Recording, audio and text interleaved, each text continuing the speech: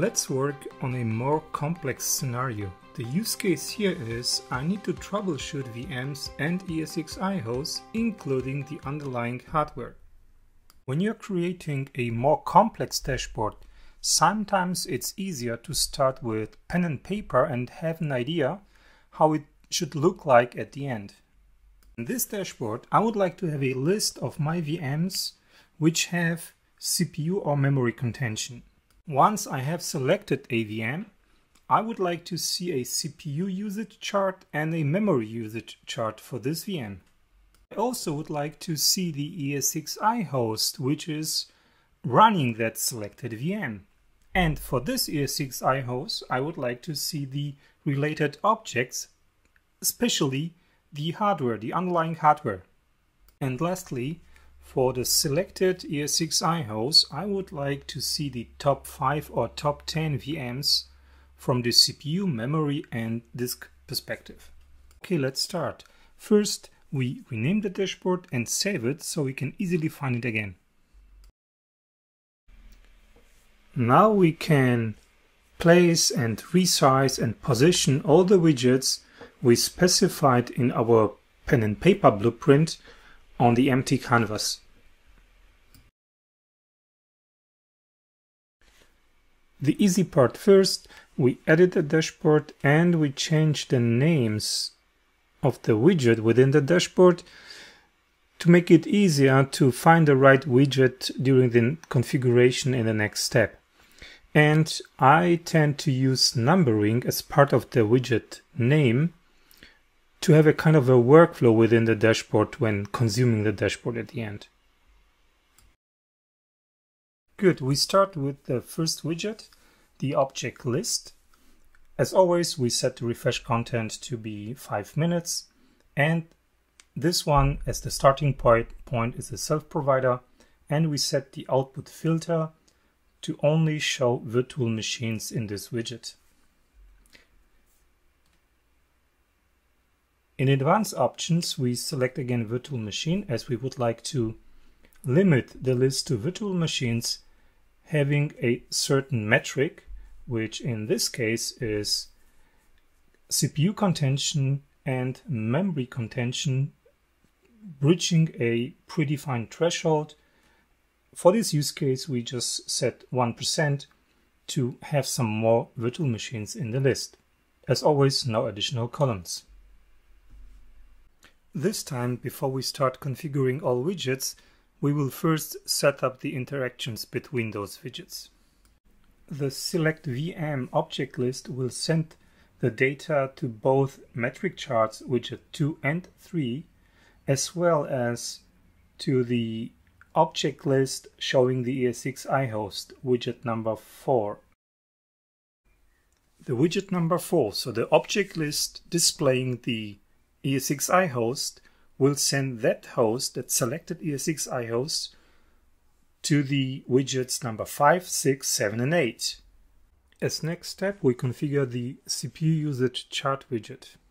We let refresh the content every 5 minutes automatically, the self-provider is off, and the input transformation itself as we are getting the virtual machine as object and we would like to show the metrics of exactly the virtual machine object. Within the output data section, we specify the metric this chart should display. In this case, it's gonna be the CPU usage of the selected virtual machine.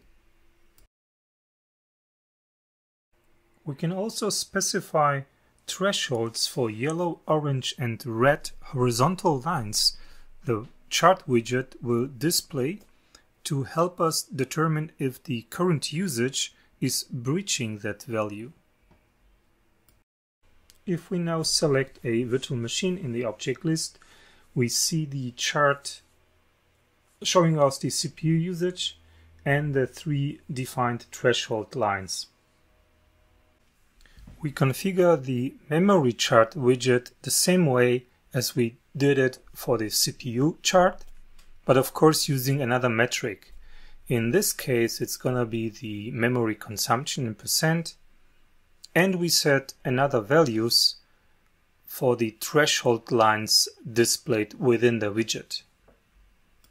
Now, if we click on another virtual machine in the object list to refresh on the dashboard, we will see that now we have um, a chart CPU usage and a chart for memory consumed in percent, including the threshold lines.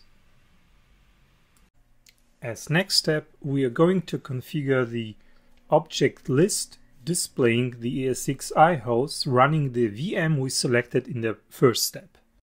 In this widget, we set the input transformation to parent as we would like to see the ESXi host in this list and ESXi host object type is parent of a virtual machine object type. In this widget, we set the output filter configuration to object type host system as we would like to see the host system in this object list. And as always, there is no additional columns configuration. When we now click on a virtual machine, we see the corresponding ESXi host. Now we are ready to start the configuration of the new top N widgets. We switch on the refresh content option, we leave the bars count at 5 and we set the round decimals to 0.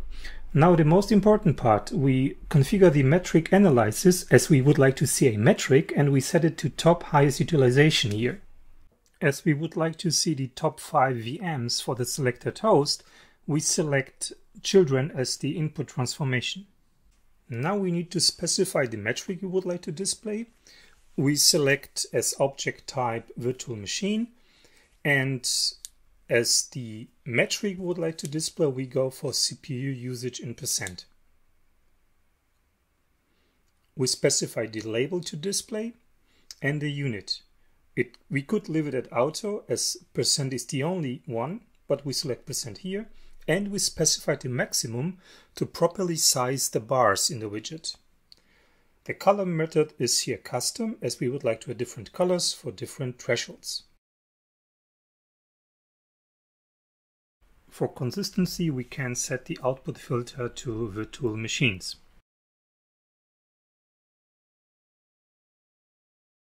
Now, if we click on the ESXi host in widget number 4, we see the top 5 CPU consumers listed from the highest one to the lowest one The configuration of the top 5 memory consumers widget is basically the same as the one for the CPU consumers. The only difference is of course the metric we're using here. Here we're using the memory usage in percent as in this example. When we now click on the ESXi host, we see that the top 5 memory consumers are also ordered by from the highest one to the lowest one. And finally, the top 5 storage consumers. Again, the only difference is a different metric reflecting the total IOPS of a VM. Until now, we configured every widget with auto select first row set to off, and that leads to a empty dashboard when it's selected for the first time. To change this, we set auto select first row to on, and the object list will have the first item auto selected and therefore having the other widgets populated with data. If we do this also for the widget number 4, then we have the dashboard automatically populated with data when we access it for the first time. Now we are going to configure the relationship widget. Essentially, we are specifying how many levels we are going up and down in a relationship chain coming from the object this widget is receiving to display another objects related to this one. Objects may have many relations between each other, and inventory trees are more or less kind of templates limiting the, the display of those relationships to certain object types. And with this setting, we now see vSphere objects related to the selected ESXi host. With the True Visibility Suite HPE Management Pack, for example, we can see HPE hardware objects related to the ESXi host.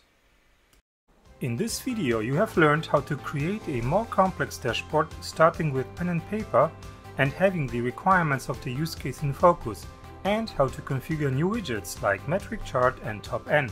In the next video you will learn how to export and import dashboards and I will give you a short introduction into content lifecycle management. Thank you for watching this video and make sure you don't miss the next part.